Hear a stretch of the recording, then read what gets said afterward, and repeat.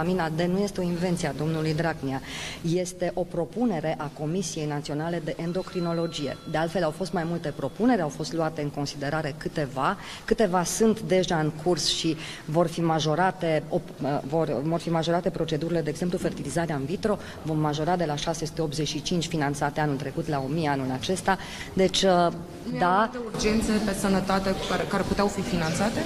S-a, s-a încercat rezolvarea uh, multor urgențe din sănătate, deci eu cred că trebuie să ne bucurăm. Uh, bugetul Ministerului Sănătății are o parte de, cre- de o creștere istorică.